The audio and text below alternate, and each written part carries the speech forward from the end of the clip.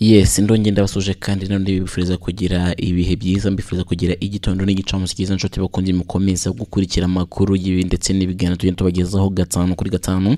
Reka mwese mbabwire ngo mukomeze kugira ibihe byiza. Bari mu rwanda bari mu burasirazuba bw'igihugu cya kongo mu karere k'ibiyaga bigari muri rusange. Reka mwese mbabwire ngo igitondo cyiza cyane mbabwira ngo ndabakunda cyane. Tugiye kuganira ku bintu byinshi cyane ku bintu byinshi cyane.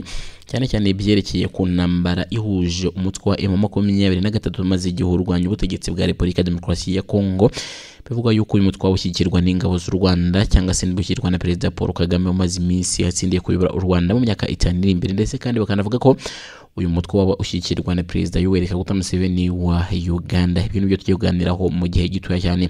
Ndetse nkubwira ko tuvugana kandi kisekedi tuvugana yagize ibyo atangaza ku bigendanye n'agahenge kasabwe ejo bundi na leta zunze ubumwe na uh, kasabwe mu nama yahuje ubuyobozi bwa kongo ndetse n'ubuyobozi bw'u rwanda cyane cyane biciye mu bayobozi b'ububanyi n'amahanga ibyo turazi kureba ngo ese yabivuzeho iki? Yabitangajeho iki? Nituva kuri ku kwishima cyangwa se kubyo yatangaje turaza kuganira ku kuba abasirikare ba wazarendo ndetse na FRDC kuri ubu hari abari kuvuga yuko baba bafatiwe mu kwabo wabereye igoma wiswe safisha muji wa goma. Ibyo turaza kubiganiraho mu gihe gitoya cyane namwe kandi mugenda nako mugenda muduhereza ibitekerezo. Gatanu kuri gatanu muciye kuri comment nako dushimira abantu mukomeje kubana natwe. Gatanu kuri gatanu ndahita nakubwira ko tuvugana kandi ngo biri kuvugwa yuko abasirikare barindwi ba M makumyabiri na gatatu bafungiwe muri Beni muri Butembo. Bite bigendanye n'umutekano nyine na serivisi z'umutekano aba ni muri bo ngo bavuga ko ari abandi ba RDF cyangwa se bagize umutwe umaze igihe urwanya ubutegetsi bwa leta ya Uganda. Ndetse kandi hakazamo n'abasirikare ngo batatu n'abandi cumi na barindwi bo baturutse mu magurupe atandukanye bamaze iminsi ngo barwanira muri Beni cyangwa se muri aka gace ka Beni. Hanyuma rero ubwo mugumane natwe gatanu kuri gatanu ubundi tunarebe ngo ese byari byifashe biti mu makuru yabanje hanyuma rero reka mpite nkubwira ko ubu tuvugana mu gihe hari hashize iminsi igihugu cya kongo n'icy'u rwanda biciye mu perezida b'ububanyi n'amahanga bumvikanye.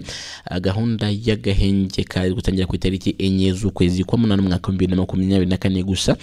Akenge kari kavuze ko katatangarijwe igihe kagomba kumara nyuma yaho emu makumyabiri na gatatu ivuze yuko ngo itazarebwa n'ibyavuye muri aka gahenge. Ubu tuvugana perezida felix antoine tshisekedi yishimiye agahenge yemeza ngo kutazigera abura mu biganiro bya rwanda. Ni nyuma y'uko perezida felix antoine tshisekedi yagiye atangaza kenshi ngo atazitabira ibiganiro kubera ko ngo bigamije kumuhuza na emu makumyabiri na gatatu nyamara ngo we adashaka guhura n'umutwe wa emu makumyabiri na gatatu.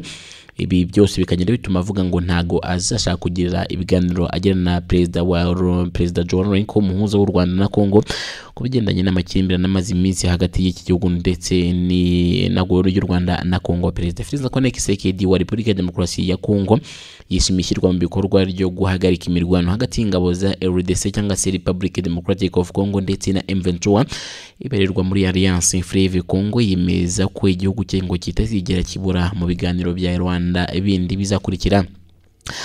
Kuwa mbere ku itariki cumi n'ebyiri kanama mu mwaka wa bibiri na makumyabiri na kane ni bwo perezida felix antoine tshisekedi yakiriye ikishasa mugenzi we joao lourenco usanzwe ari umuhuza ku bibazo bya politiki hagati y'igihugu cy'u rwanda ndetse na republic democratic of congo. Perezida joao lourenco yageze kinshasa kubutse i kigali aho ku cyumweru gishize nyine yari yitabiriye umuhango w'irahira rya perezida paul kagame watsindiye kuyobora u rwanda mu myaka itanu iri imbere ku majwi mirongo icyenda n'icyenda n'ibice cumi n'umunani. Minisitiri w'ububanyi n'amahanga wa rdc witwa therese kayikwamba wagner yabwiye itangazamakuru ko uyu perezida joao lourenco na kisekedi bishimiye kuba ingabo za rdc na m makumyabiri na gatatu barashoboye ngo guhagarika imirwano nk'uko babisabiwe mu nama. N'abakuru ba diplomasi yabereye rwanda ku itariki mirongo itatu kanama nyakanga bibiri na makumyabiri na gatatu. Ndakwibutsa ko ubu tuvugana nubwo bibaye gutya ya makumyabiri na gatatu yari yatangaje nk'uko itazarebwa n'ibyavuye muri imyanzuro cyangwa se mu gutanga agahenge ko kubera ko inama ngo itari yayitabiriye. Bakavuga bati ni gute dushobora kubahiriza ibyavugiwe mu nama nyamara twebwe tutarayitabiriye? Bakavuga bati rero ntibitureba mwebwe muyubahirize cyane ko agahenge kari kasabwe na leta ya leta zunze ubumwe za amerika ubushize bo bari bavuze ko ngo bagasabye ariko ngo agahenge katubahirijwe ahubwo ngo leta ya kongo ari umwanya yabonye wo kuyigabaho ibitero. Bakavuga bati rero beta ko utazongera kubahiriza ibyavuye muri aka gahenge abagiye muri iyi nama ntibayubahirize. Nubwo raporo yaje gusohoka nyuma yagendaga ishinja u rwanda ku kuba ngo ari agahenge kiyekero rwemeranyijwe na kongo nyamara u rwanda rwo rukavuga ko ngo ntaho ruhuriye n'aka gahenge nyamara agahenge karebaga impande zihanganye. Ni ukuvuga ni M23 ndetse na leta ya kongo ni ukuvuga rero muri iri jambo ryatangajwe n'abakuru ba diplomasi abakuru b'ibihugu byombi bishimiye ibishyirwa mu bikorwa ry'agahenge ko ku itariki nyine kanama 2020 kanse ye kubwo kubahiriza ibyavuye mu gahenge cyangwa se kubyishimira ni ikigaragaza yuko nyine aka gahenge karaza akubahirizwa abaperezida rero perezida Tshisekedi wa Kongo na Lourenco Wangura kandi ngo basebye ko ngo hakomeze gushyirwaho imbaraga mu rwego rwo gushakira ikiba gushakira ikibazo cy'amakimbirane y'umurasirazuba bwa Republic Democratic of Congo igisubizo kirambye.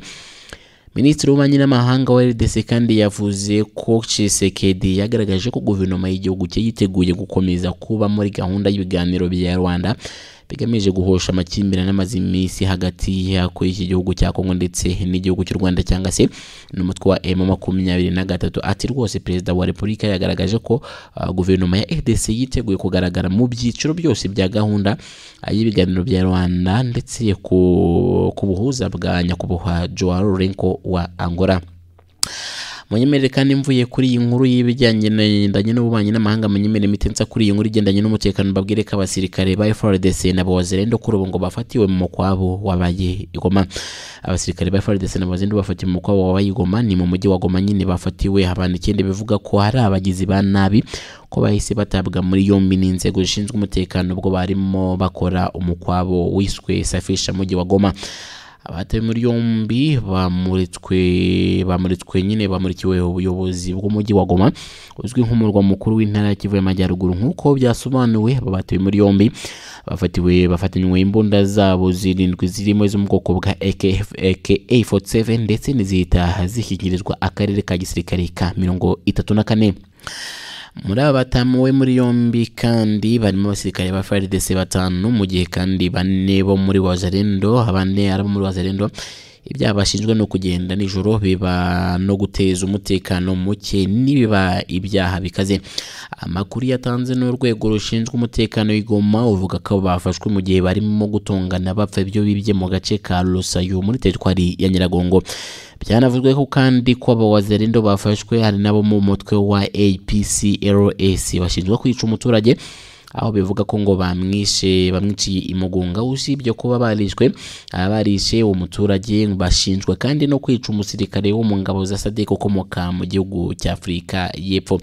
Bivuga ko uwo musirikare wo mu butumwa bwa SADC wishwe na Wazalendo ko yishwe mu ijoro ryo ku itariki cumi n'icyenda z'ukwezi kwa karindwi umwaka w'ibihumbi bibiri na makumyabiri na kane. Umuyobozi w'umujyi wa Goma komiseri Faustin Kamanda Kapendi yijeje abanyekongo ko serivisi zikomeje kuba maso kugira ngo zisenye imiyoborere imiyoborere nyine yose y'abagizi ba nabi.